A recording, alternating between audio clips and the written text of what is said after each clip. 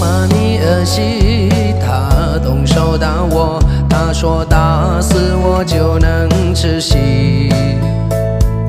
活该你被打，招惹谁不行？偏偏你要去招惹我儿媳。果然真的是最毒妇人心，有了儿媳就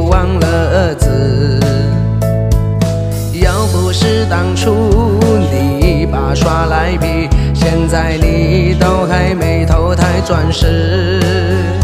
那我问你，我是不是你亲生的？为啥帮儿媳不帮你儿子？你一个大男人还跟老婆较劲，我在帮你，谁帮我儿媳？问题他打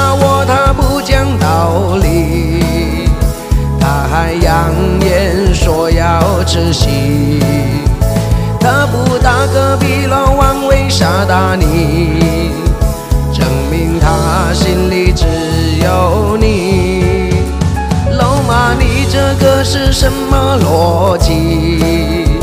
这又关隔壁老王啥事？